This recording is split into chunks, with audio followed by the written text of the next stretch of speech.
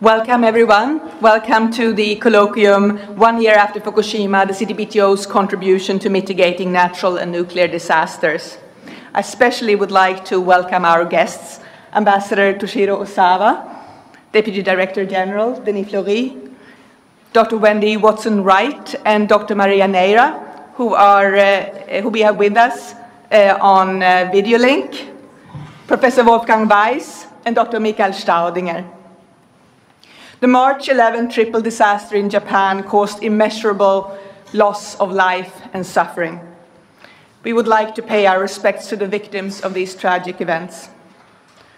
Consequences would have been even worse had disasters struck a less developed and organized nation than Japan. With today's colloquium, we would like to discuss how the CTBTO can make its contribution to help states mitigate such disasters and to potentially save lives. This event is part of the Tim Hampton lecture series in commemoration of one of our most beloved and dedicated staff members.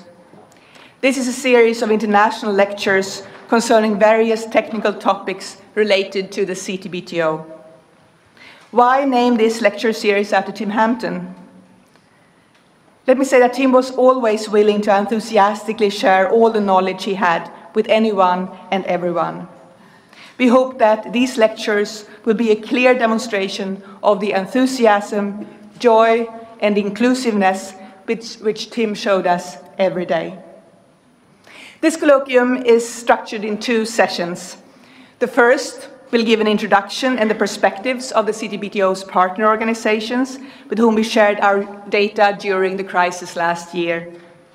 In the second session, the CTBTO's experts will elaborate on the CTBTO's technical response for each of the four verification technologies. At the end of each session, there will be ample time for questions and answers, and there will be a coffee break around 11.20. I will first give the floor to Dr. Lassina Zerbo, who needs no introduction. Um, but uh, I will nevertheless say that uh, he is uh, our director of, um, he's the director of the International Data Center here at the CTBTO. He is, uh, Dr. Zerbo is from Burkina Faso. He's a geophysicist and uh, uh, worked in management positions for a number of multinational companies in France, Canada, and the United States before joining the CTBTO in 2004. Dr. Zerbo, you have the floor, please. Thank you, Annika. Uh, morning, good morning, distinguished uh, uh, delegate and uh, colleague from the PTS. Um, CTBT past and future contribution to emergency preparedness, uh, and then the Fukushima case study.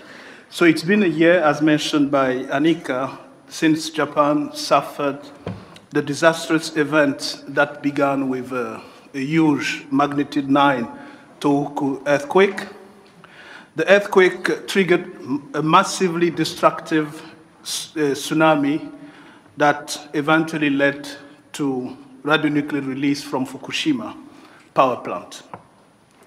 Perhaps, and because these disasters had such an, an enormous human impact, it is appropriate that we reflect on the roles that the CTBT plays in contributing to emergency preparedness on this anniversary. As part of our Tim Hampton lecture series, this colloquium, I mean uh, the CTBT contribution, will address the capability of the international monitoring system to provide early warning of impending disasters, to monitor the spread of radioactive particulate and gases, and to contribute to the understanding of such disastrous events through scientific knowledge. Of course, using this knowledge is just as important as having it.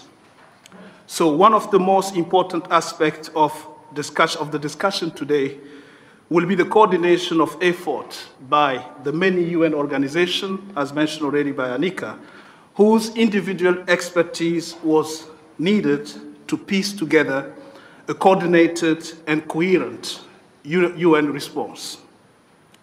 It is my pleasure to share the podium with Ambassador Toshiro Ozawa, permanent representative of Japan to the international organization in Vienna, Deputy Director General Denis Flory of the International uh, Atomic Energy Agency, Wolfgang Weiss, Chair of the United Nations Scientific Committee on the Effect of Atomic Radiation, and the Director General of uh, the Meteorological and Geodynamic of Austria, Mr. Michael Staudinger, uh, who is also the permanent representative of Austria to the WMO, the World Meteorological Organization. Uh, also, I would like, and uh, you probably see it on the screen, to mention Dr. Wendy Watson Wright, the Executive Secretary of the International Oceanographic Commission, UNESCO IOC, and uh, Dr. Maria Neira, Director of the Public Health and Environment of the World Health Organization, uh, who are following this presentation over video streaming. And uh, uh let's uh, thank them for their availability and contribution to come.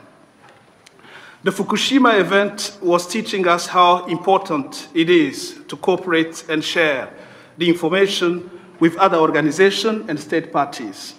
The cooperation we had with the IEA, WHO, and WMO was important as we were considering the amount of the release, and there was an imminent need to understand the magnitude of the accident, as it was potentially hazardous for people.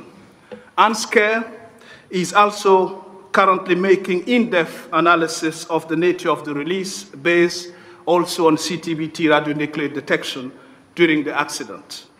I hope that you find this colloquium informative and that it stimulates conversation, and action that lead to the reduction of the human suffering by such disasters. It is now my great pleasure to turn the floor over to Ambassador Toshiro Ozawa, permanent representative of Japan to the international organization. Thank you. Thank you, Dr.